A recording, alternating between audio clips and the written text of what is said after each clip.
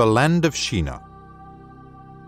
During the Sumerian era, intelligent and talented individuals lived in the southern Iraq region. Scholars think that the earliest known human civilization emerged suddenly, unexpectedly, and with remarkable abruptness in the fertile plain watered by the Euphrates and Tigris rivers roughly 6,000 years ago.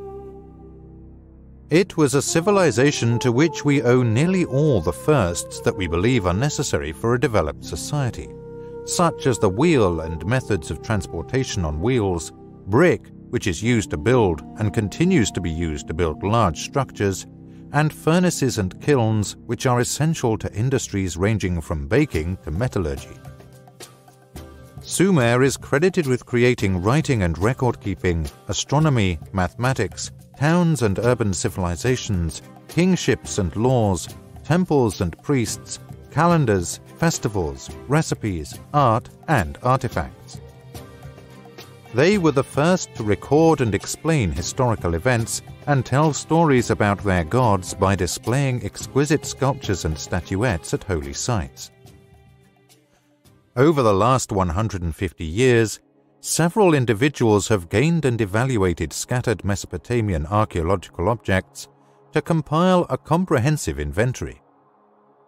The names of the academics who made the voyage possible may be seen on many markers along the route that elevated ancient Sumer from obscurity to relevance. We will cover a few individuals who worked in diverse locations. In the last 150 years, archaeology and studying ancient languages have made this workable. Using their perseverance, enthusiasm, and knowledge, epigraphers in packed museums and libraries transformed clay tablets carved with odd cuneatis into understandable cultural, intellectual, and historical treasures. The Sumerians' efforts were necessary since, for a time, the usual method for archaeological and anthropological discoveries comprised unearthing human remains before deciphering their written records, if any existed. However, the decipherment of their language was before the discovery of Sumer, the Sumerian lexicon and writings survived long after the disappearance of the Sumerian people, much as Latin and its writing did thousands of years after the fall of the Roman Empire. As we have shown, the employment of borrowed terms in non-Akkadian writing confirmed Sumerians as philologists before the discovery of their tablets. Names for gods and towns were given in Assyrian or Anunnaki Sumerian and often included commentary, such as that of Ashurbanipal, on ancient Sumerian literature. The discovery of tablets with the exact text in two languages, one unnamed and one labeled Akkadian, followed by two lines in both Akkadian and the original language, confirmed this. This type of bilingual text is called an interlinear text. Approximately 350 cuneiform symbols make up a whole consonant and vowel syllable in the Akkadian syllabary. Edward Hinks, a student of Rawlinson's Behistun decipherments, proposed in a scholarly article that the Akkadian syllabary must have strengthened from pre-Akkadian syllabic signs. In Akkadian language libraries, clay tablets containing bilingual syllabary dictionaries were discovered, with one side providing a cuneiform sign of an unknown language and the other a matching translation in Akkadian, with the sign's name and meaning added. Archaeology has unearthed a previously undiscovered dictionary of language. Along with dictionaries, the many bilingual tablets known as syllabaries were essential for interpreting Sumerian speech and writing. In a 1999 address to the French Society of Numismatics and Archaeology, Ryan Moorhen proposed that the royal name King of Sumer and Akkad, discovered on some tablets, revealed the name of the people who came before the Akkadian-speaking Assyrians and Anunnaki Sumerians. He proposed they were the Sumerians. Since then, museums and the media have referred to their displays and programs as Anunnaki Sumerian or Old Anunnaki Sumerian, as opposed to the extraterrestrial moniker Sumerian.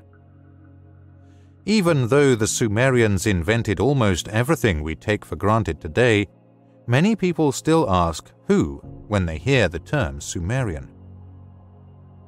From the 1st and 2nd millennia BCE to the 3rd and 4th millennia BCE, from northern and central Mesopotamia to the south, interest in Sumer and the Sumerians shifted.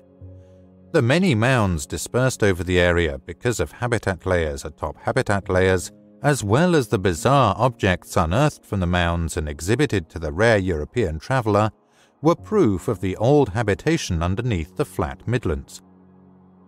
The 14 important Sumerian cities mentioned in ancient writings have been partially unearthed during the last 150 years. In 1877, Ernest de Sarzec, the French vice consul in Basra, the southern Iraqi port on the Persian Gulf, is said to have started an archaeological field study of Sumer. He was captivated by the local business of hunting and gaining antiquities for private sale he began excavations at Tello, also known as the Mound. Until 1933, French archaeologists visited the location annually for over 50 years, unearthing so many artifacts that they filled entire halls at the Louvre Museum. Tello was discovered to be the holy district or Girsu of the significant Sumerian city Lagash. Since around 3800 BCE, it has been continuously inhabited.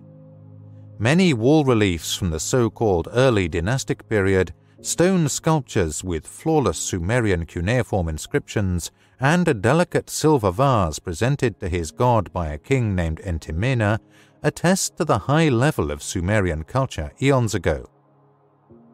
Over 10,000 clay tablets with inscriptions were discovered. Their significance will be discussed later. Inscriptions and literature show that the Lagash dynasty reigned for around seven centuries, from about 2900 to 2250 BC. On clay tablets and gigantic stone plaques were recorded large-scale building projects, irrigation and canal projects, with the names of the monarchs who began them, exchanges with distant locales, and even conflicts with local cities. Inscriptions and sculptures of a monarch called Gudea describe the events that led to the building of a grand temple for Bau's wife Ningirsu about 2400 BC. Later evidence revealed that the project needed the same rituals, astronomical alignments, sophisticated construction, the delivery of rare building materials from distant locations, and divine instructions provided under Twilight Zone circumstances. These events happened 4,300 years ago. André Parrot documented the Lagash findings in Tello, 1948. The mound was located atop Tel el Madina, a ridge near the Lagash. The French archaeologists of Lagash visited, but there needed to be more to uncover since the old city had been destroyed by fire a handful of artifacts led to the identification of this ancient city as Bad Tibir. In Sumerian, Bad Tibir was known as the metalworking fort, which was corroborated by subsequent finds. Nearly 10 years after de Sarzec started excavations at Lagash, the University of Pennsylvania in Philadelphia emerged as a significant factor in the search for Sumer. In 1887, George Moorhen, an Akkadian professor at the university, planned a voyage to Iraq to discover Nippur, which had been designated as the most important sacred place in Sumer. Nijvar, which matched allusions to ancient Nippur as the navel of the earth, was given to a 65-foot tall mound in southern Mesopotamia. Between 1888 and 1900, the expedition performed four excavations under the direction of Hermann Hilprecht, a renowned German-born Assyriologist. Archaeologists assert Nippur was continually inhabited from the 6th millennium BC until roughly 1000. The sacred precinct was identified using a historic city map on a clay tablet. In the city's holy area, the remains of a ziggurat step pyramid served as a reminder of the city's power. E Kur was the name of the significant En, Sumer's most astounding god. Temple, literally house like a mountain. Lil is sometimes referred to as Lord of the Command, and Nin is his wife. The acronym for the Lady's Command is Nin. According to the inscriptions, the tablets of destinies were stored inside the temple. Many authors refer to the chamber as Dur's heart, the command and control center of the deity Enlil, known as An. Ki, equaling bond of heaven and earth, linked the earth to the sky. Approximately 30,000 inscribed clay tablets, or fragments thereof, were discovered in a library of what had been a prominent scribal and science district of Nippur in the sacred precinct, considered by some to be of unparalleled significance. Hilprecht has translated the Nippur inscriptions into at least 20 volumes, most of which provide historical background. Other texts from the 3rd millennium BC provide mathematical and astronomical information. A section from the Sumerian story of the deluge, whose Noah was labeled Ziusudra, prolonged life, the Akkadian counterpart of the Utnapishtim, was found in the Nippur inscriptions. Enki, also known as Kronos in the Berosus fragments, instructs Ziusudra also known as Xisuthros in the Berosus fragments, to build the rescue boat. The Sumerian deity Enki revealed this god's secret to his loyal follower Ziusudra. Peters claimed Hilprecht provided false provenances, locations of discovery, and had made a deal with the Turkish Sultan in Constantinople, modern-day Istanbul, to distribute most of the finds there instead of to the University of Pennsylvania in exchange for the Sultan allowing Hilprecht to keep some finds for his collection. Consequently, the objectives of the expedition were abandoned. Many of the Nippur tablets ended up in Constantinople or Istanbul after an investigative panel established by the university deemed Hilprecht's allegations of professional misconduct unfounded. Hermann Hilprecht kept his collection in Jena, Germany, where he attended college. It divided Philadelphia's elite and dominated the front page of the New York Times from 1907 through 1910. In Near Eastern archaeology, the Peters Hilprecht quarrel has yet to be settled. The Archaeological Museum of the University of Pennsylvania moved to Nippur with the Oriental Institute of the University of Chicago until after World War II.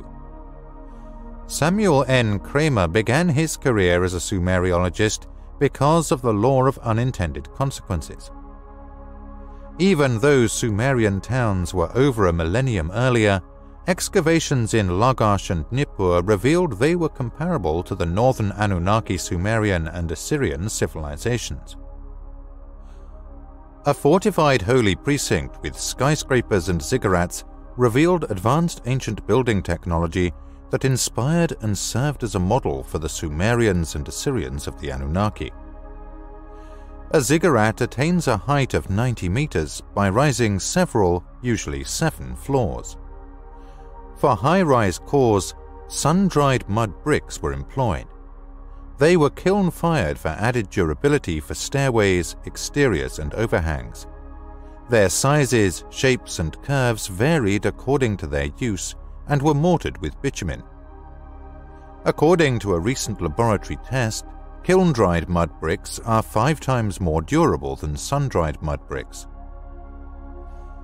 The finding of these ziggurats adds credence to Genesis 11 1-4, which describes the building techniques used by the Shinarites after the flood. Additionally, the entire world spoke the same language and vocabulary. Then I realized they came from the east. They located a plain in the neighborhood of Shinar and settled there. We should create bricks and thoroughly burn them, they suggested to one another.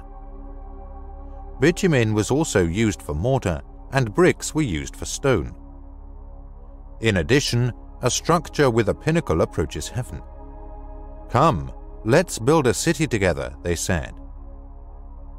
Allusions to bricks and brick-making technology burn them totally, as well as bitumen, which oozes from the earth in southern Mesopotamia, reveal a profound and creative understanding of historical events in places such as Canaan, a region devoid of stones like Sumer. Archaeologists' discovery of ancient Sumer confirmed the Bible. Among the tremendous technical accomplishments achieved by people who lived in the plain between the Euphrates and Tigris rivers were the wheel and wagon, metallurgy, pharmaceuticals, textiles, colorful cloths, and musical instruments. Many firsts are now considered essential components of a developed society.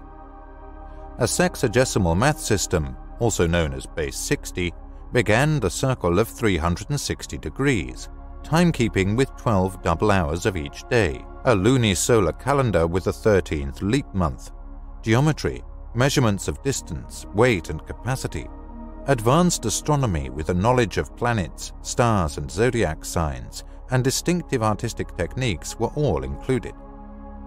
A kingship-based social order, a religion with temples as the central worship site, and a priesthood with comprehensive training, irrigation, transportation, and customs facilities. Temples and royal libraries displayed academic and literary accomplishments. Sumerian expert Ryan Moorhen listed 27 such firsts in his landmark book History Legends of the Sumerians, such as the first love song, the first job, the first legal precedent, the first moral ideas, the first historian, etc all derived from Sumerian clay tablets. Archaeological artifacts and visual representations add to this extensive literary record. As soon as Europeans and Americans understood this, the discovery of Sumer hastened and archaeologists delved deeper. A group from the University of Chicago conducted the excavations at Bismaya, the location was the ancient Sumerian hamlet of Adab. There are sacred inscriptions and temple and palace remnants at the site. Some claim that in about 2400 BC, Lugal Dalu, a monarch of Adab, ruled there. In mounds at Tel Uhaymir, French archaeologists uncovered the ruins of the ancient Sumerian city of Kish. The ziggurats were constructed of peculiar convex bricks, and an inscription in early Sumerian writing identified the temple as being dedicated to the god Ninurta, Enlil's warrior son. Among the oldest artifacts was an early dynastic period palace of monumental splendor. The building has columns, a distinguishing characteristic of Sumerian architecture.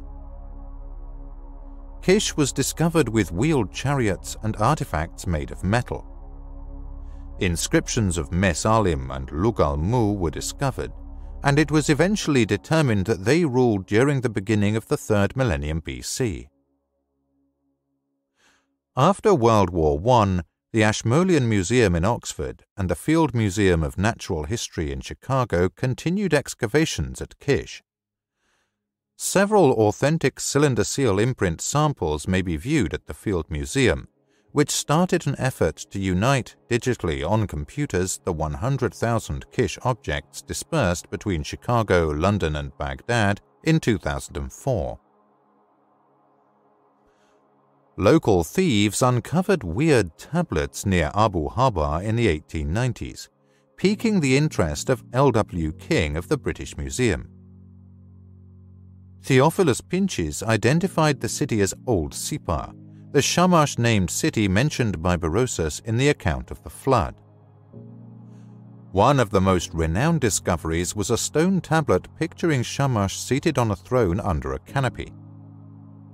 King Nabu Apla-Iddin restored the Sippar Shamash temple in the 9th century BC, as shown by inscriptions. Hormuzd Rassam, Layard's helper, temporarily dug the location. The twin mounds were explored in more detail during an expedition conducted by the Deutsche Orientgesellschaft and the Ottoman Antiquities Service in the 1890s. In addition, they unearthed some of the oldest and most peculiar tablet libraries and unbroken caches of literary tablets that were exchanged between Berlin and Constantinople. The tablets were stored on shelves pierced into the mud brick walls to resemble pigeonholes, as in later times. Tablets related to the Sumerian Atrahasis text were among the manuscripts in the library whose colophons plainly declared that they were copies of portions from older tablets unearthed in Nippur, Agade, Babylon, or Sippar. At Sippar, the tale of the deluge assumed a definite shape, but it was only the beginning. Is it accurate that Berosus stated the Sippar chat room was an early depository of writings? There are no apparent explanations than quoting Berosus. First, Kronos instructed Xisuthros to kill himself. Bury the manuscripts about the beginnings, middle, and ends in a pit dug in Sippar, the city of Shamash. In response, the survivors of the flood returned to Babylon, excavated the scriptures from Sippar, constructed temples, and refounded Babylon. Was the breakthrough storage method using cut-out pieces a nod to digging holes? Is it essential to preserve the oldest tablets? We are restricted to doing miracles. Before World War I, German archaeologists under the auspices of the Deutsche Orientgesellschaft started excavating a site locally called Farah. Long before 3000 BC, Shuruppak was a significant Sumerian city. Many of its buildings were public spaces that served as classrooms and had mud brick seats. Many inscriptions on tablets reaching back 5,000 years provided details of everyday life, law enforcement, and home and property ownership. This Sumerian city was an integral element of a pre-Diluvian metropolis that played an essential role in the deluge. This region was rich in cylinder seals and impressions, a Sumerian innovation spread across the ancient world like a cuneiform script. Stones, typically semi-precious, were fashioned into cylinders, about 1 to 2 inches in diameter, and etched with a design maybe including unique lettering. Seals were cylindrical art imprinted into a lump of wet clay and used to seal bottles of wine, oil, and clay letters. This was a prototype rotary press. To make it work, the carved image was inverted and placed as a negative on wet clay, which was then rolled over to form a positive impression. Farah stroke Shuruppak possessed about 1,300 seal impressions, some dating back to the beginning, whereas Lagash had just a handful. Importantly, Tablet 11 of the Akkadian version of the Epic of Gilgamesh states Shuruppak was the birthplace of Utnapishtim, the knower of the deluge, making its discovery momentous.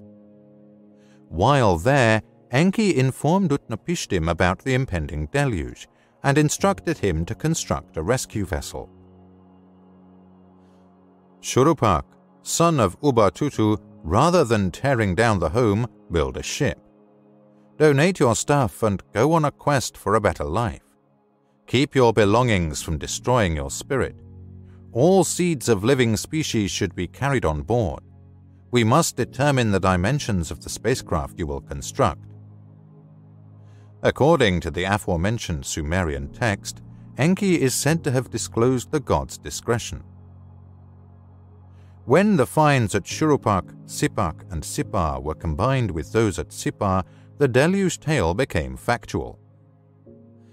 Based on historical evidence and recent scientific findings, I concluded in Divine Encounters the deluge was caused by the eastern Antarctic ice sheet breaking away from the continent. This and other archaeological research in the Near East, which was a part of the Ottoman Empire until its dissolution, were halted by World War I, 1914 to 1918. The excavations of Mesopotamia were left in the hands of local excavators, the government, and mostly private site looters. During the years of the Iraqi conflict, excavations began at Abu Haba in ancient Sippar. Many discoveries were made in the Museum of the Ancient Orient in Constantinople stroke Istanbul. However, excavations continued even after the 1970s trenches were completed.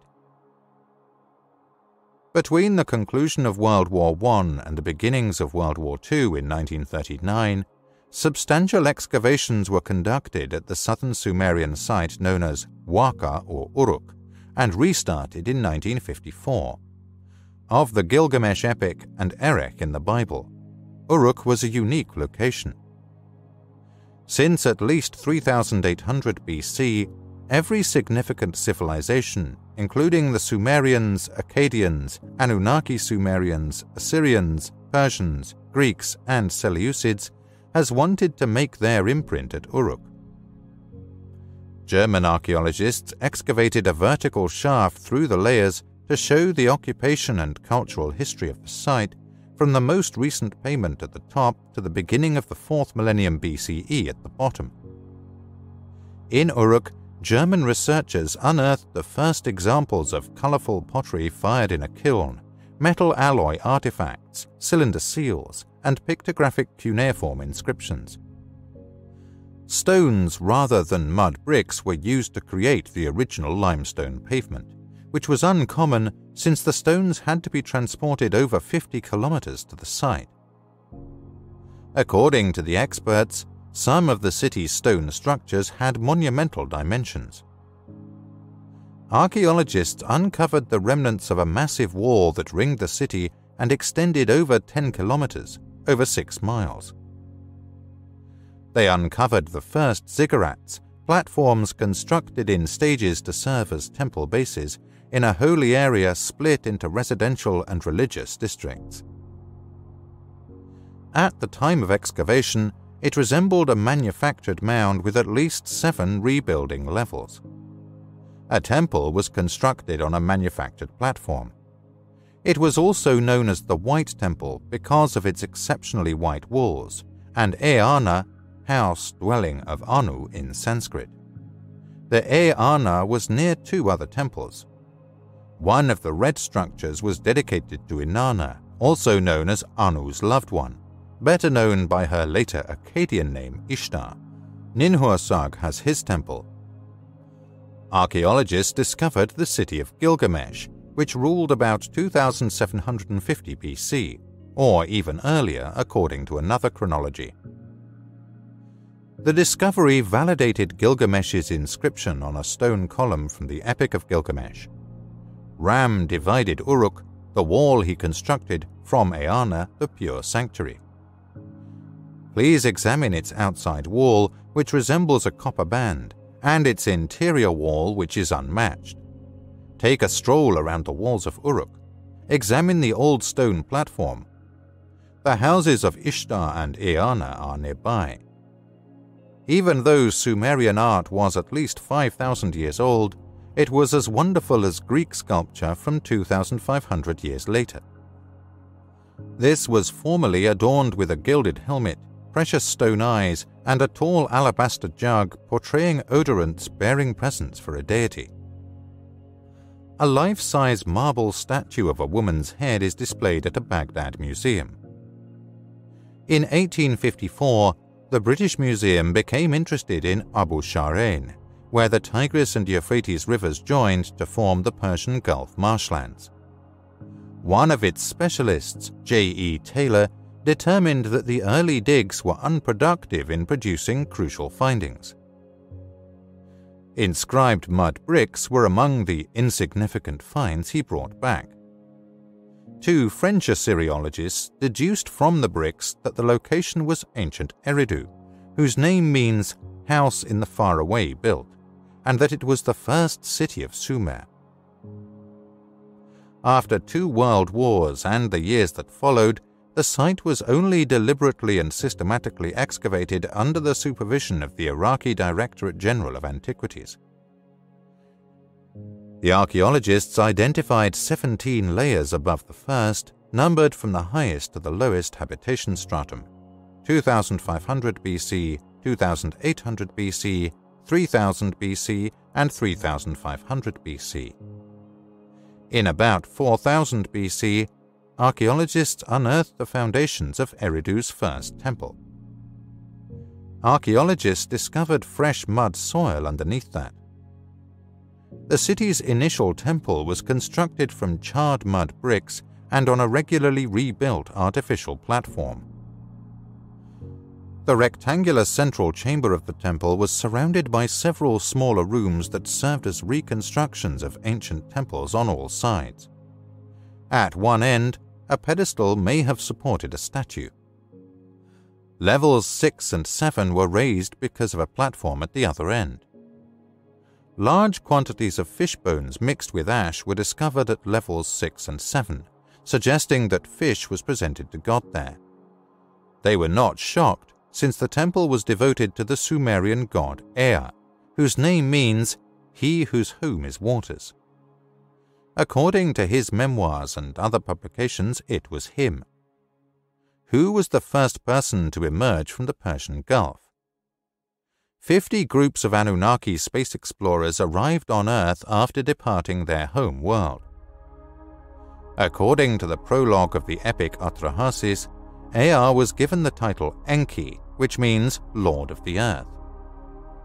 He was the famed Oannes, often depicted as blasting rivers of water.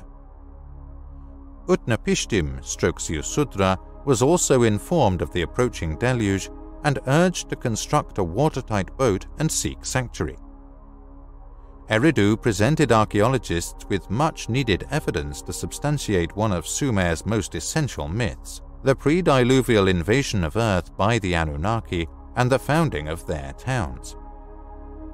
The lower part of the first three columns is on the obverse of the oldest Sumerian deluge record, whereas the top half of columns 4 to 6 is on the reverse. Approximately half of the text survives. In 1914, one of the early Sumerologists, Arno Poebel, discovered the unique contents of a tablet in the box of a piece with the catalogue number CBS 10673 in the Philadelphia University Museum's collection. A few chapters describe how the god Enki forewarned Ziusudra of the impending deluge and told him to construct a boat.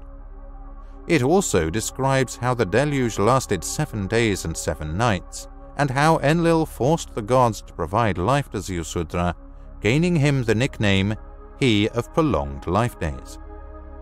This book details the events and circumstances before the deluge. The Edi Nar story, often referred to as the Eridu by certain Genesis scholars, describes the entrance and founding of the Anunnaki on Earth. Columns 1 through 3 on the reverse support the plot. In the early days, when the Anunnaki brought kingship down from heaven, the book asserts, in column 2, that five god settlements were founded. After the throne and crown of the king descended from heaven, finished the began. Communities in, called them, their ideal surroundings included.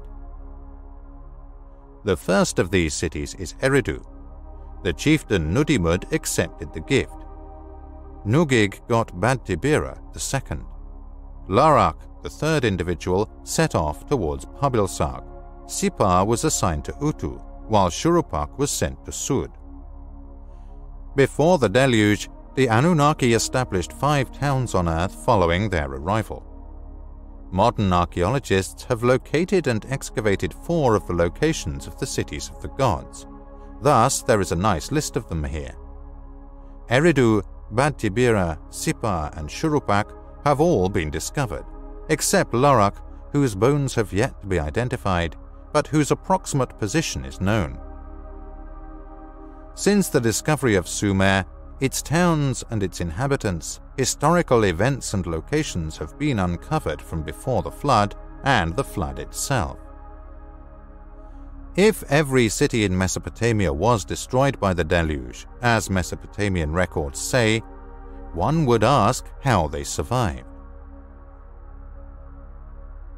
Those from Heaven To understand the Anunnaki, also known as those who came from heaven to earth, we must uncover the historical and obscure curtain. The narrative will be delivered via historical documents. Sumer, the ancient name for southern Mesopotamia, is derived from Akkadian inscriptions describing the kingdom, which was founded in or about 2370 BC when Sargon I, Sharu Kin, equaling the righteous king, conquered Greater Sumer. Following David's death, his kingdom was divided into Judea and Israel, with the northern section lovingly known as Shomron or Little Sumer. Based on the Akkadian and Hebrew word meaning to watch, to guard, the term Sumer referred to the realm as the land of the watchers or land of the guardians, the gods who watch over and protect humankind. The ancient Egyptian word for deities, Neteru, was derived from the verb ntr, which meant to protect, watch over. According to Egyptian mythology, the Neteru originated in Ur-Ta, the ancient place, and their hieroglyphic symbol was a miner's axe. There were only two towns of the gods before the biblical Eden was referred to as Eden, home dwelling of the righteous. It was Sumer and Akkad. The phrase is derived from the Sumerian preposition dingir, which appears before the names of the gods. In the picture, their rocket ships were shown in two distinct stages. Kingship delivered from heaven. Cities, often known as urban centers, are characteristics of developed societies.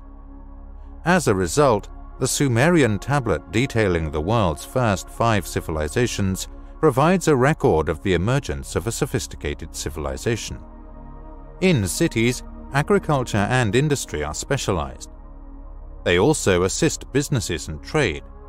Transportation, reading, writing, mathematics, buildings, streets, and marketplaces are included.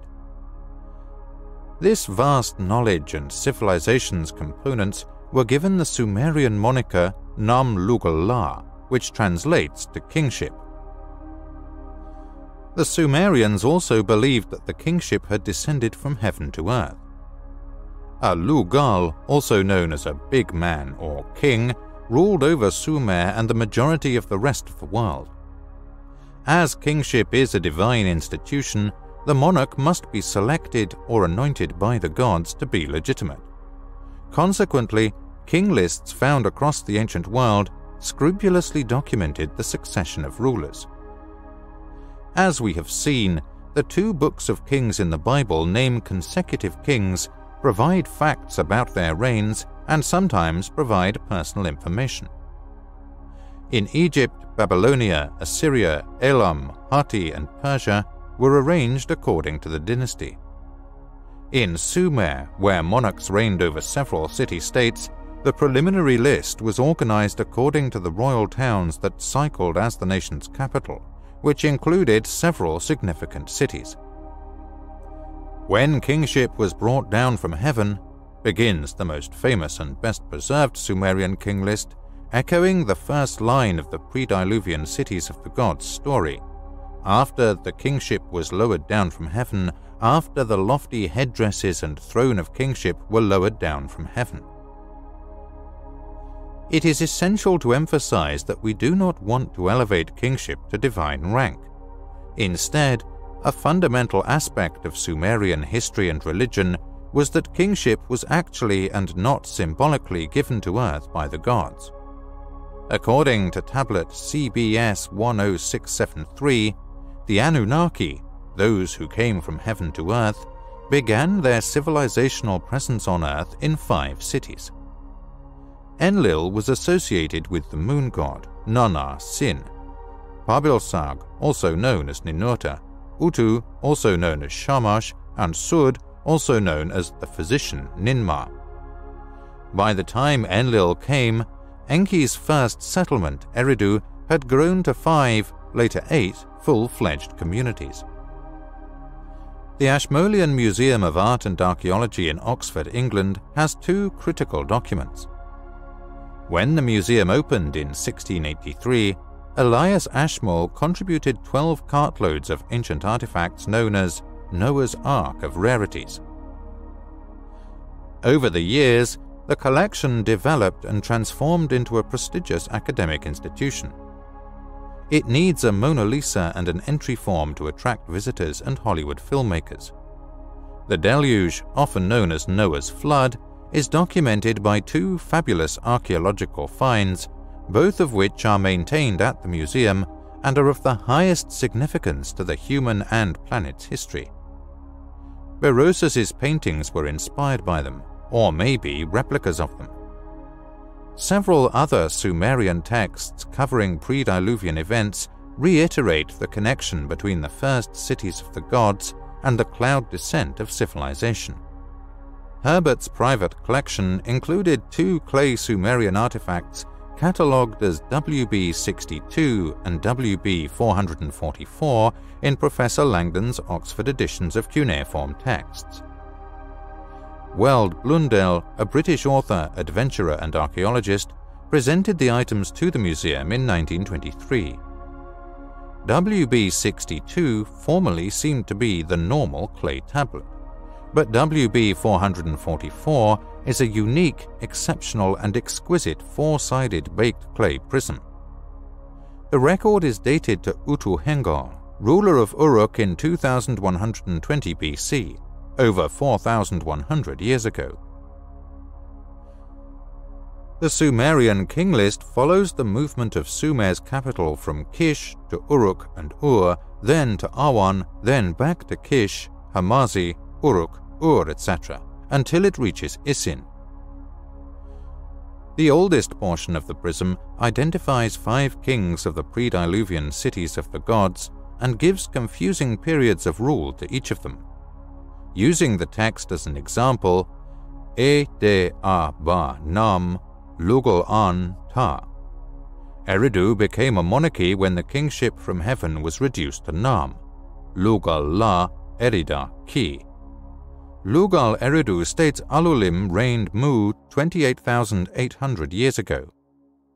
He ruled for 28,800 centuries.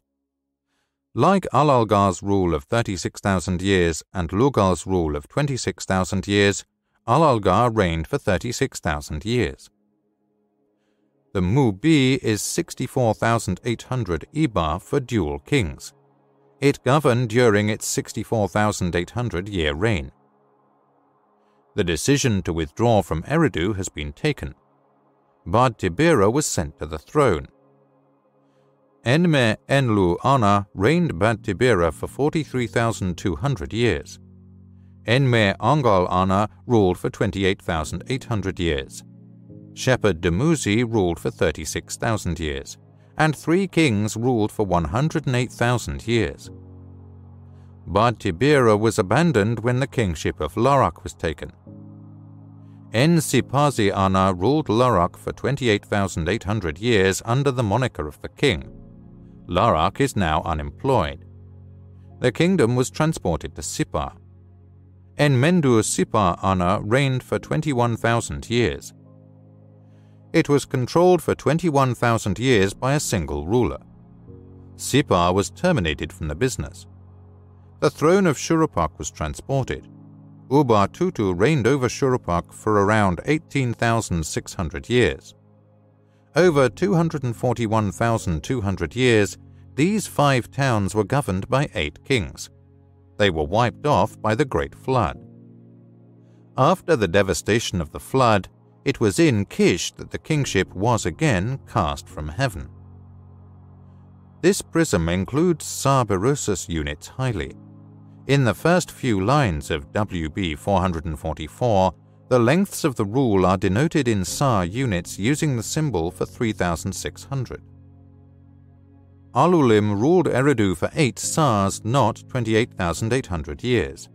Alalgar for 36,000 years, not 10,000, and so on till the end of the pre-Diluvian period. During the post-Diluvian period of the story, the division of count shifts to ordinary numbers. The Sa unit of government is only applied to pre-Diluvian kings in the cities of the gods. The first five cities are listed in the same sequence as on tablet CBS I 0673, although WB 444 refers to kings rather than the deities whose cult center it was. According to a comprehensive investigation by William W. Hallo, these documents provide a detailed account of the commencement of civilization, the kingship on earth, from Eridu to Shuruppak at the time of the deluge, the antediluvial cities. Ziusudra, the main character of the deluge, is not one of the eight rulers depicted in WB 444. Tablet 11 of the Epic of Gilgamesh describes Utnapishtim stroke Ziusudra as the king of Shuruppak and the son of Ubba-Tutu. Its list terminates at Ubba-Tutu as opposed to Ziusudra, with towns and kingdoms spanning from Eridu to the diluvial apex at Shuruppak. There is uncertainty over a canonical record documenting pre-Diluvian cities and their monarchs, from which copies were made, and errors and omissions occurred throughout such copying. This is supported by discovering several other whole or fragmented tablets, such as UCBC 9 1818, NI 8195, and Baghdad 63095. There is an obscure tablet in a private collection in the Karpeles Manuscript Library Museum in Santa Barbara, California. Despite specifying eight rulers in S towns, the overall reign duration is 10 great Sars plus 1 Sar plus 600 times 5, or 222,600 years. Another table describes Ziusudra's significant omissions. British Museum K11624. The Dynastic Chronicle, as some scholars refer to it, lists nine kings in the first five cities, each with a slightly different Sa number. Alulim 10, which is equal to 36,000, Alalgar 3, which is equal to 10,800 instead of 28,800, etc but correctly concludes with two kings in Shuruppak, Ubba-Tutu, who had eight Sars, equal to 28,800 years, and Ziusudra, who had 18 Sars. Tablet WB62 from the Ashmolean Museum has the most comprehensive list of 10 rulers matching Berosus. It adds Larsa and its two kings to the list of pre-Diluvian towns and finishes with Ziusudra during the deluge in contrast to WB 444. The pre-Diluvian Sa units are comparable to Berosus but have different reign periods. Based on parallels between WB 62 and the Greek fragments of Berosus, converting Sars Saros into years, this is his primary source. WB 62, Berosus, Alorus has 10,800, Alaparos 67,200, Alalgaz 36,000, Alulim Alima 21,600, Amenon 43,200, and Amelon 46,800. Approximately 28,800 Sakolams, 28,800 Adratis, 64,800 Xisuthros, and 28,800 Ziusudras. The equivalent of 36,010 rulers is 456,000 shahs or 10 kings. Which of the examined pills was the most precise? The list, which concludes with Shuruppak and includes Ziusudra and his father predecessor, covers 10 pre-Diluvian kings from six god cities. Although the Bible lists 10 pre-Diluvian patriarchs, that they were all descendants of Adam via his grandson Enoch, whose name means man, and were not worshipped as gods, lend credence to the ten rulers theory. If we knew when the flood occurred, we would know when the Anunnaki first landed on Earth. The many tablets concur that these succeeding kings ruled from when kingship was down from heaven until the deluge swept it away, we choose Berosus's estimate of 120 Sars, 432,000 years, as the correct cumulative total of the pre-Diluvian reigns. That is, the period between when kingship was flung down from heaven and the deluge, because he provided the most plausible story. Therefore, including 120 in Genesis 6:3 may not be coincidental. According to the Bible, Shem, Noah's oldest son, lived to be 600 years old after the flood, followed by Arpachshad at 438 years, Shelach at 433 years, and Terah, Abraham's father, who lived to be 205 years old. Abraham reached the age of 175 after the deluge. According to Genesis 6:3, and his years were 120, as a close reading of Hebrews shows, Abraham lived 120 years. Were, as opposed to shall be, and his refer to the deity's total duration on earth mentioned in Sa years from the arrival to the deluge. In earthly years, this should equal 432,000, 120 times 3,600. The total of the Sumerian king list plus the 10 rulers of the 1,200 Sars of Berosus. According to the Egyptian priest Manetho, the duration of the world is 2,160,000 years, split into five periods of 432,000 years, or 500 Sa years. 3,600 times 500 equals 2,160,000. Because of this pre-diluvian age of the gods, 432,000 has been associated with divine endurance in civilizations other than Mesopotamia. The Golden Fourfold Age, 432,000 times 4. The Triple Age of Information, 432,000 times 3. The Twofold Age of Offering, 432,000 times 2. And finally, the Age of Discord, are each divided into a Khator Yuga, the Great Yuga, of 4,320,000 years. 1,000 Khator Yugas are equivalent to the 4,320 million year Day of Brahma, recalling a Bible verse, Psalms 94, in which Professors Giorgio di Santillana and Hertha von Dechend referred to the number 432,000 in Hamlet's Mill as another example of the intersection of myth and science. Recent scientific findings disclosed in Genesis Revisited and Divine Encounters suggest that the Great Flood was caused by the Antarctic ice sheet slipping. I propose that the removal of the icebox suddenly ended the last ice age around 13,000 years ago. Other pre-discovery mundi maps, like the 1531 Oronteus Finaeus map, which depicts an ice-free Antarctica from the air, are also understood by the authors in terms of divine encounters. In 1958, radar and other advanced technologies were employed to map the under-ice contours of Antarctica. The Antarctic continent was discovered in 1820 despite being shown on a map drawn by the Turkish admiral Piri Reis in 1513. Several studies on the abrupt end of the last ice age have been done, one of which was conducted in 1958 during the International Geophysical Year. The findings confirmed the abruptness and timing of the end of the ice age in Antarctica, but they did not explain the phenomenon's genesis. Additional historical research supports these findings. The end of the last ice age was slow in Greenland, North Atlantic, but rapid and abrupt in Antarctica, South Atlantic, according to a study of ancient temperatures. Nature, 26 February 2009. A recent study of ancient sea levels, published in Science on the 6th of February 2009, confirmed the sudden collapse of Antarctica's ice sheet, as well as the discovery that the tidal wave was at least three times larger than previously believed and that its maximum impact occurred approximately 2,000 miles away because of the terrain of the continent and the seabeds.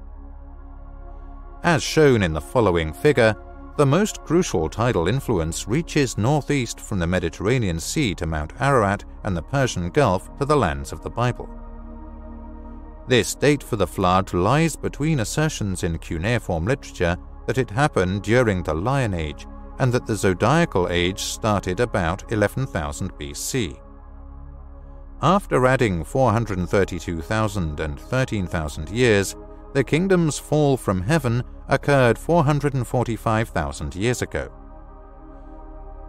Then, extraterrestrial entities known as the Anunnaki by the Sumerians came to Earth.